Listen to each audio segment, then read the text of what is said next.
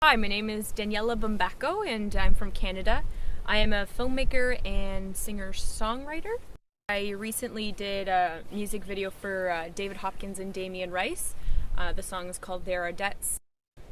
Well, uh, Miles as a performer in general was really great to watch.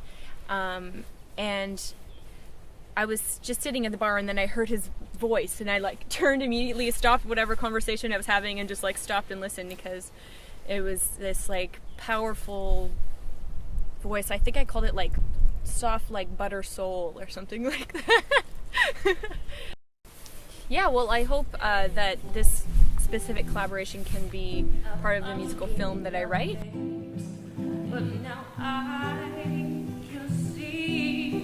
Because it's where I should be.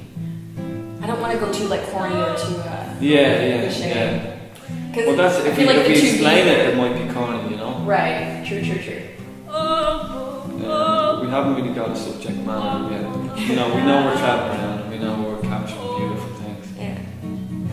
And it's also about like letting go of a stressful life because we lived in Toronto, which is just a really big stressful city, and like I lived there the last two years, and Mick has lived there for thirty years. So mm. He's just happy to get out, and he's always wanted to, but never really had the opportunity. And then like we met, and then I'm like, I moved there for film, and then oh, it was like after two years, I'm like, this is horrible. I cannot live in this. so then it makes sense for us to like Yeah, we do. go out west. Alright, that's great. And on sound we have Mick. and the horse in the background. Great. Right, okay.